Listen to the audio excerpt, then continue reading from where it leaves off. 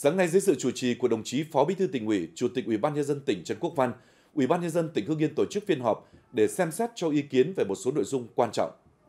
Phiên họp xem xét các giải pháp đến năm 2025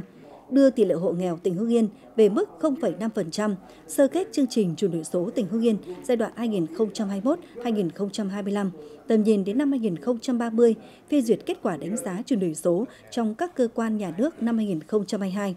dự thảo nghị quyết của Ủy ban nhân dân tỉnh quy định nội dung chi và mức chi giải báo chí Nguyễn Văn Linh. Kết luận phiên họp, Chủ tịch Ủy ban dân tỉnh Trần Quốc Văn cơ bản nhất trí với một số dự thảo nội dung đã trình bày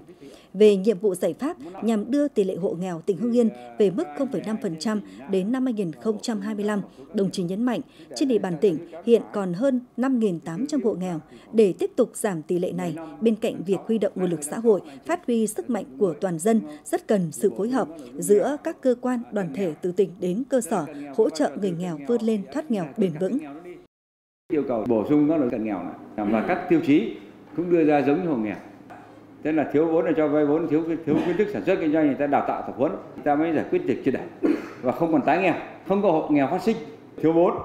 thì sẽ cho vay vốn. Tất cả các đối tượng này thiếu kỹ năng về sản xuất, giao cho nông nghiệp, tổ chức dạy nghề làm nông nghiệp. Tức là hộ nghèo mà không có đất, thì tổ chức dạy nghề. Sau năm, đề nghị các doanh nghiệp là tiếp nhận các hộ này vào làm ở các nhà máy xí nghiệp. Đồng chí Chủ tịch Ủy ban dân tỉnh cũng nhấn mạnh, chương trình chuyển đổi số tỉnh Hưng Yên giai đoạn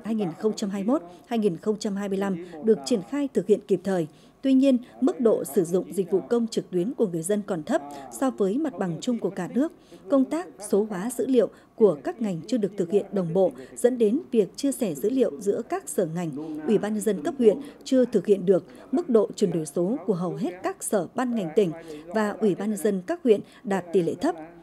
Chủ tịch Ủy ban nhân dân tỉnh nghiêm khắc phê bình và yêu cầu các sở ngành địa phương tích cực vào cuộc thực hiện các nội dung chuyển đổi số. Mỗi một sở và mỗi một huyện thành phố thị xã đều phải xây dựng kế hoạch tổ chức thực hiện một năm trong các tiêu chí ấy, các thang điểm đấy tôi nói ví dụ về nhận thức số này thể chế số này hạ tầng số này nhân lực số này an toàn thông tin này chính quyền số này tổng số điểm thì các cái này phải xây dựng cái kế hoạch như thế nào đấy mới là cái quan trọng, mà quan trọng nhất là người đứng đầu. Để phấn đấu, cuối năm 2023 là tất cả chúng ta phải trên 70% các đơn vị, các huyện, thành phố, thị xã, các sở ngành phải ở mức khá trở lên và không có đơn vị nào yếu kém.